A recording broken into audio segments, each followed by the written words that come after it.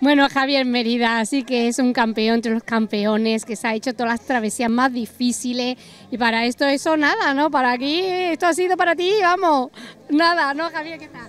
Muy bien, muy bien, la verdad que esto es una travesía para disfrutar, disfrutar del pueblo, de los eventos que se celebran en tanto en este caso en San Pedro y bueno, disfrutar del ambiente, de los amigos y bueno, de, de este paseo marítimo, de esta playa que tenemos que es fantástica.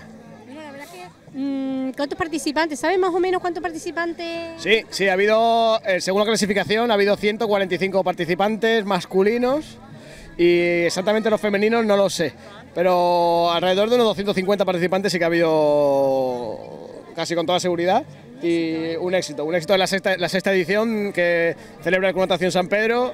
De aquí darle la enhorabuena porque no es fácil, no es fácil llevar a cabo estos eventos y bueno, darle la enhorabuena y que ojalá sigan muchos años. Bueno, la verdad es que tiene mucho fan tú, Javier, porque yo preguntaba, bueno, que me voy, que, he quedado entrevista a Javier Mérida, ahora me decía, pero, pero, está aquí Javier Mérida y todos como, oye, que, que, queremos verlo, ¿no?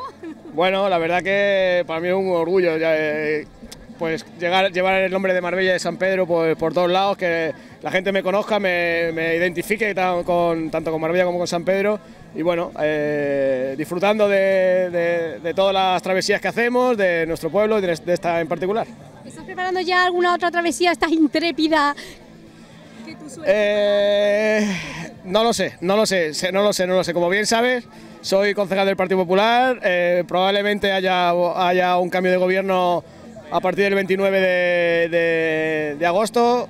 Si se produce, está claro que habrá que dejar los, los eventos personales, habrá que dejarlos de un lado por una temporada porque habrá que centrarse en, hay que trabajar y hay que centrarse mucho en tanto en el deporte de Marbella y San Pedro y, bueno, está claro que habrá que aparcar un poquito nuestros retos. Pues enhorabuena Javier, ¿eh? un luchador innato. Muchísimas gracias. A ti.